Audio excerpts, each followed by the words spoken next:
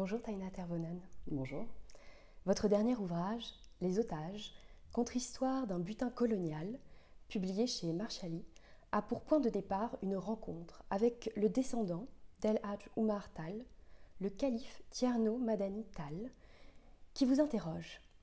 Pourquoi vous intéressez-vous à cette histoire, vous qui êtes blanche et descendante des colons? Que lui répondez-vous? Je lui dis que cette histoire coloniale qu'on a vécue ensemble, c'est vraiment une histoire commune. On, l'a vécue ensemble, les Noirs et les Blancs, les Sénégalais et les Français. Moi, je ne suis pas française de naissance, mais je suis blanche. Et donc aussi héritière de cette histoire-là. Ma couleur de peau m'assigne une place dans, l'histoire. Ça, c'est certain. ça ne sert pas à grand-chose d'essayer de lutter contre ça. Il faut faire avec. Donc je lui dis voilà, c'est une histoire qu'on a vécue ensemble, les Noirs et les Blancs, sauf qu'on n'en parle jamais ensemble, ni ici, donc je suis à Dakar à ce moment-là, ni là-bas, donc en Europe. Et quand il y a des histoires du passé comme ça dont on ne parle pas, elles finissent parfois par surgir à d'autres endroits. Et dans ces cas-là, ça vaut parfois le coup de regarder euh, d'où on vient et ce qu'on a vécu ensemble. Qu'est-ce qui vous a mis en mouvement vers l'écriture de ce livre? Est-ce votre constat, je vous cite, j'ai découvert que la plupart des Français ignorent l'histoire coloniale que j'ai apprise par cœur et dont pourtant ils sont les héritiers bien plus que moi. Et quels obstacles avez-vous rencontrés en écrivant ce livre? Effectivement, la, question de la mémoire de l'histoire coloniale en France est une question très compliquée. Euh, moi, je suis née finlandaise, mais j'ai grandi en, Afrique. J'ai grandi au Sénégal jusqu'à l'âge de, 15 ans. Donc, moi, l'histoire coloniale, je l'ai apprise euh, à l'école sénégalaise, donc forcément avec une version assez différente de celle qu'ont appris mes, enfants, euh, qui sont nés en France et qui sont allés à l'école française. Donc, ça, c'est quelque chose dont, comment dire, dont moi j'ai conscience depuis tout le temps que je vis en France, depuis bientôt bientôt 30 ans, pas tout à fait, mais presque. Mais, euh, mais c'est compliqué d'en parler, de cette histoire-là. Et euh, quand le débat sur la restitution des, des objets, des œuvres d'art d'origine africaine qui sont dans les collections des musées français, quand ce débat-là a commencé, il y a eu plein de, d'idées préconçues qui ont surgi comme ça dans, le débat public, dans la bouche de directeurs de musées, de conservateurs, de gens dont on pourrait penser euh, qu'ils sont plutôt éclairés et qu'ils ne tiendraient pas ce genre de propos dans d'autres circonstances. On pouvait entendre par exemple qu'il n'y a pas de musée en Afrique, euh, que les Africains ne vont pas savoir prendre soin de ces objets, ils ne vont pas savoir euh, s'en occuper, alors que ce sont des objets qui ont été quand même faits par les Africains. Et je me suis dit, tiens donc, il y a peut-être quelque chose à creuser autour de l'histoire de ces objets pour parler de l'histoire coloniale. C'est-à-dire qu'en essayant de retracer euh, le voyage euh, de certains objets, l'histoire dont ces objets ont été témoins, peut-être que ça sera une façon de, parler aussi d'histoire coloniale et surtout de l'héritage de cette histoire aujourd'hui en France, dans notre société d'aujourd'hui. Je ne m'attendais pas exactement à, tout ce que j'ai trouvé euh, en chemin. Euh, il y a beaucoup de choses qui m'ont qui, m'ont touché, qui m'ont choqué aussi, notamment dans les archives, dans tout ce qu'on trouve dans les archives. Euh, la teneur euh, des propos que peuvent avoir des, administrateurs coloniaux, donc qui sont des représentants de l'État français, qui s'écrivent des lettres entre eux, hein, on n'est pas dans une correspondance privée du tout, et qui disent des choses particulièrement violentes et brutales sur leurs administrés, donc les, Africains, les Noirs, les indigènes, comme on les appelle à, l'époque. Et je crois que cette violence, on ne s'en est toujours pas complètement débarrassé dans la société française euh, d'aujourd'hui. Euh, des obstacles, euh, j'en ai, enfin comment dire, j'ai pris le temps de les contourner quand il y en a eu. j'ai mis trois ans à, faire ce livre. C'était peut-être pas tellement des obstacles que euh, parfois de la méfiance ou de la résistance un peu, et puis de la méfiance sur qu'est-ce que, pourquoi je m'intéressais à cette histoire. Une méfiance et des, questionnements qui, peuvent être tout à fait légitimes, hein, mais, euh, mais qui parfois m'ont surprise parce que euh, ça, voilà, c'était pas des endroits auxquels moi je, m'y attendais. Mais au final, toutes les personnes que j'ai sollicitées tout au long de, ce travail-là ont accepté de me recevoir, ont accepté de me parler et voilà. Donc le résultat est là. Vous soulignez qu'il y a dans l'histoire de ces otages humain et objet, une question concernant le regard, la visibilité. Les objets ne sont plus montrés, ils sont soit dans les réserves de différents musées, soit disparus. Est-ce que faire disparaître justement du regard, c'est contribuer à l'oubli et donc rester dans la veine de la colonisation, à l'effacement d'une histoire? Alors mettre des objets dans les réserves, oui, c'est les soustraire au regard du, public. Ça, c'est, enfin, vraiment littéralement, c'est ça qui se passe. Je me suis beaucoup demandé pourquoi les objets auxquels moi je m'intéressais, donc un butin de guerre euh, très précis qui date de 1890, un butin de guerre qui a été pris à Ségou, dans la ville de Ségou, qui est sur le territoire du Mali actuel, pourquoi ces objets-là, alors qu'ils avaient été montrés euh, peu après, donc dans les années 1890 hein, et même au début du XXe siècle, pourquoi aujourd'hui ils ne sont pas du tout, du tout, du tout montrés? Il y en a pourtant plusieurs dizaines, hein, mais voilà, il n'y en a aucun. Euh, qui, est montré. Et bon, après, ça, c'est plus mon interprétation de, de, la chose. Ce sont des objets qu'on ne peut pas regarder aujourd'hui avec le regard qu'on nous demande d'adopter dans des musées comme le Quai Branly, par exemple, le musée du Quai Branly à Paris, où on nous demande d'avoir un regard purement esthétique euh, sur ces objets. Donc de regarder des masques africains euh, en pensant aux influences qu'ils ont pu avoir sur Picasso, par exemple. Je caricature un peu, mais on n'est pas loin de ça. C'est-à-dire qu'aujourd'hui, dans les musées qui présentent ces objets-là, on ne nous dit rien sur la façon dont les objets ont intégré les collections des musées. Comment ils sont arrivés là, de quelle violence ils ont été témoins. Vraiment, on nous demande de les regarder avec ce regard purement esthétique. Or, les objets sur lesquels moi j'ai travaillé ne s'adaptent assez mal à, à, ce regard esthétique. Ce sont des objets du quotidien, ce sont des objets qui n'ont rien de spectaculaire en soi, ou qui ne représente rien pour un public euh, français qui ne connaît pas Ella Joe Martal, qui ne sait pas qui était, euh, qui était cet homme, quel était son rôle euh, et quel est son héritage aujourd'hui. Mhm. Alors que montrer ces mêmes objets au Sénégal, par exemple, ben, c'est totalement différent. Ce sont, ce sont des reliques d'un saint, d'un saint musulman.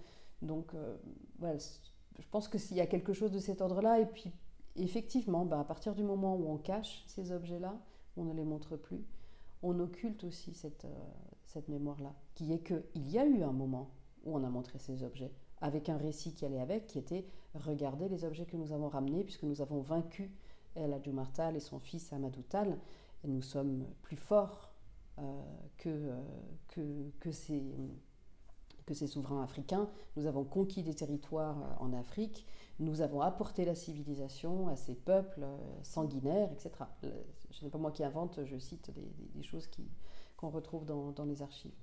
Évidemment, aujourd'hui, on ne peut plus tenir ce discours-là tel quel, et donc les objets disparaissent.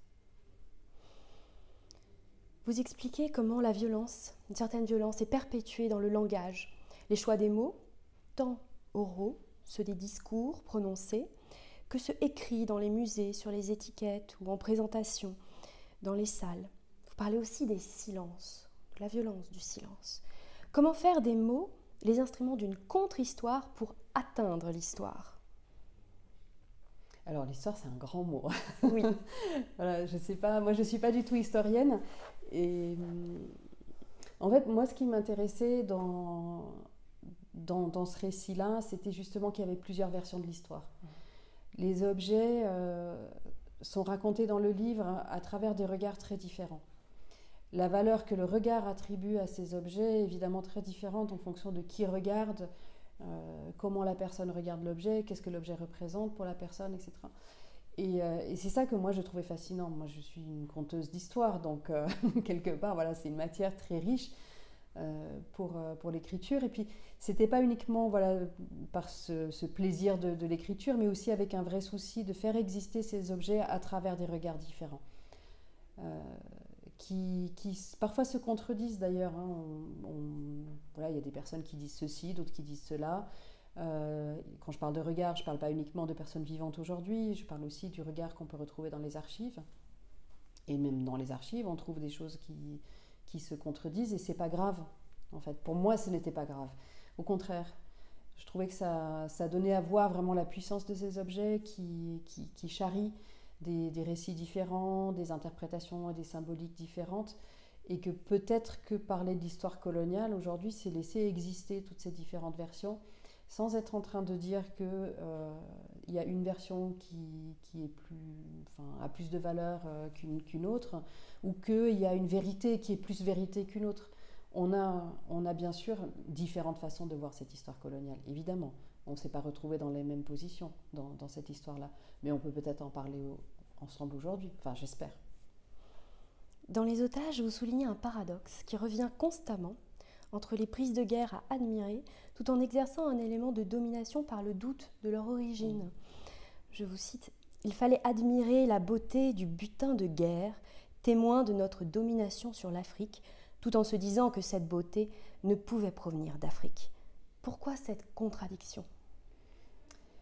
Eh bien, je pense qu'on est dans ces mêmes idées euh, que j'ai citées tout à l'heure euh, autour du débat sur la restitution. Est-ce que les Africains vont pouvoir, vont savoir s'occuper de ces objets Moi, à l'époque, c'est évidemment la, question se plaçait pas exactement à ce même endroit, mhm. mais au fond, on parle de la même chose. là, dans, le butin de guerre qui m'intéresse, il y a des, donc des objets d'argent et, d'or qui ont été montrés à, à Paris dans plusieurs expositions, et le doute est arrivé là, par la parole des journalistes qui disait euh, c'est une orfèvrerie tellement fine que ça ne peut pas être africain. Voilà. Euh, et je crois que quand on dit que les Africains ne seront pas capables de s'occuper de leurs propres objets, on est en train de dire la même chose. On est en train de parler du fait que les Africains ne sont pas capables, tout simplement, ou sont moins capables que nous. Euh, le, regard de domination est toujours un regard compliqué. enfin, la domination exige qu'on se regarde, que le dominant et le dominé se regardent comme tels. Et je crois que cette complexité-là, euh, c'est très compliqué à, à déconstruire, y compris aujourd'hui. Il y a le passé, le présent, et entre ces deux espaces, il y a celui de la symbolique que vous exposez admirablement. Quelle force exerce-t-elle aujourd'hui et comment la prendre en compte, cette symbolique, dans un livre comme le vôtre? Alors, moi, je. C'est compliqué ces questions de, symbolique parce que moi, je viens du journalisme. Donc, moi, j'ai l'habitude de, regarder le réel à travers le détail, à travers les choses très concrètes, à travers la parole qui est livrée par les personnes que je rencontre, etc. Donc, moi, c'est comme ça que j'approche euh, les histoires.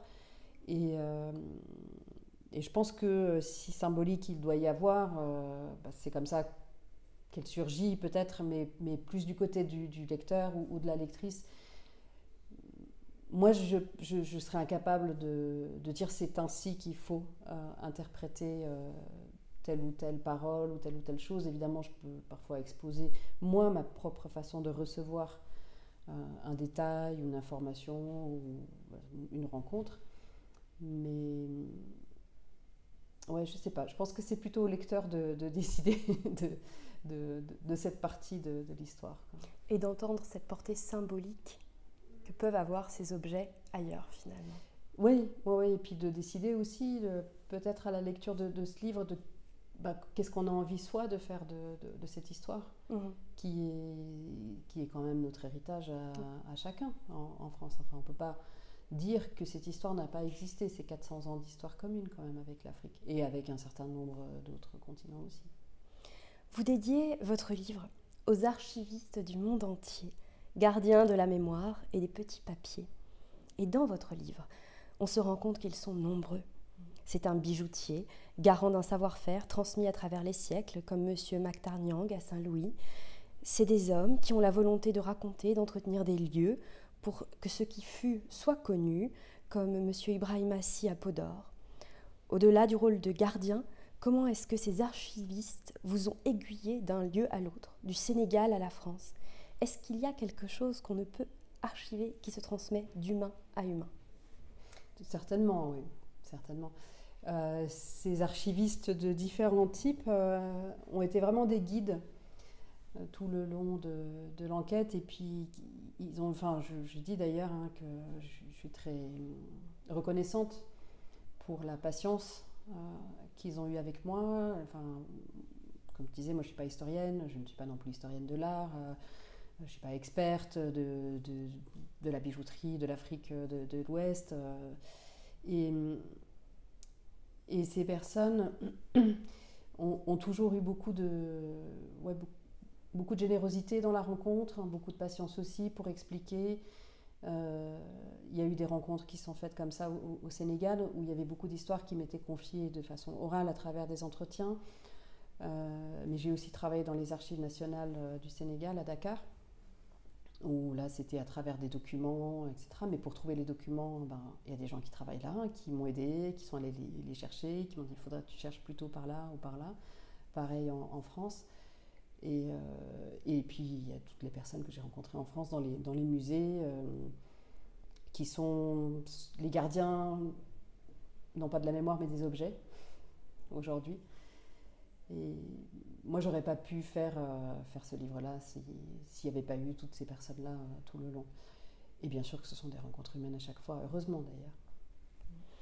Vous invitez une voix à se joindre à vous dans votre livre, celle d'Abdoulaye Tal, l'enfant qui tenait le sabre, kidnappé et envoyé en France.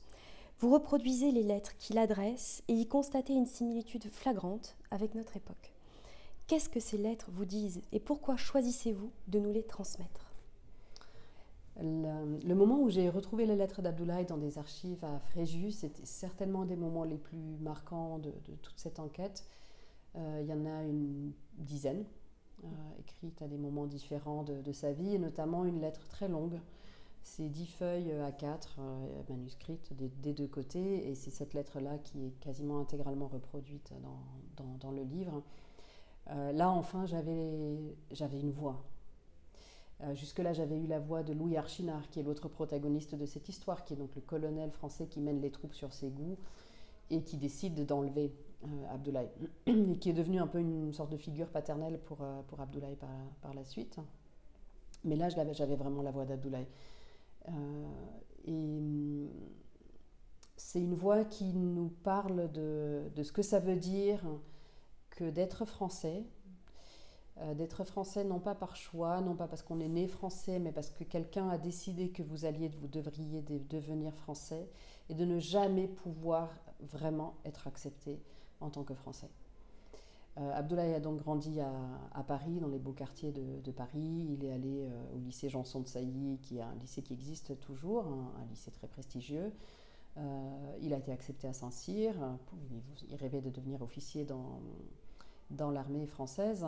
Mais quand il s'est rendu au Sénégal pour rendre visite à, sa mère, donc il avait été autorisé à, aller la revoir, il n'a jamais été traité comme français là-bas il restait euh, le, fils du vaincu. C'est ce qu'on lui a renvoyé dans, la figure et, c'est ça qu'il raconte dans, sa lettre. Et je crois que cette injonction-là de devoir faire ses preuves pour pouvoir intégrer Saint-Cyr, par exemple, Abdoulaye a dû euh, faire plus que les autres. Euh, voilà, donc cette, injonction à devoir faire plus que les autres, à devoir prouver, à devoir dire qu'on est, qu'on est français, de s'intégrer, hein, avec la certitude qu'on ne pourra jamais vraiment l'être, qu'on ne sera jamais vraiment accepté comme tel. Je crois que ça, c'est quelque chose qui existe malheureusement encore aujourd'hui dans la société française. Et, c'était assez glaçant de lire cette lettre parce que moi, en fait, au moment où je lisais, je, pensais à ça, je pensais à la France d'aujourd'hui, je pensais aux violences policières, euh, je pensais au racisme et, aux discriminations que peuvent vivre des, jeunes euh, de l'âge d'Abdoulaye aujourd'hui dans, dans, la société française. Et je me disais, mais quand même, cette lettre, elle a été écrite il y a 130 ans et on en est toujours là. Donc comment on va faire pour, euh, pour sortir de là? Merci de l'avoir reproduite, cette lettre. Finalement, quel livre, quel auteur, quelle autrice vous invitez-vous à découvrir aujourd'hui? Hmm. Question difficile. Euh, j'essaye de. Voilà, j'ai plein de noms qui me passent dans la tête en fonction des, des, dernières lectures. Eh bien, peut-être Leila Guerriero, que je vais rencontrer tout à l'heure, parce que j'ai lu ses livres et, euh, et voilà, j'ai eu beaucoup d'admiration pour son travail je m'y suis retrouvée aussi euh, sur certains points. Et, voilà, c'est quelqu'un qui écrit depuis, depuis très longtemps, euh, donc journaliste aussi, argentine. Euh, mais donc on commence à connaître un peu le travail en France qui n'a pas été traduite depuis si longtemps que ça. Donc voilà, ça sera Leila Guerriero. Merci beaucoup, Taina Tervonen. Merci à vous.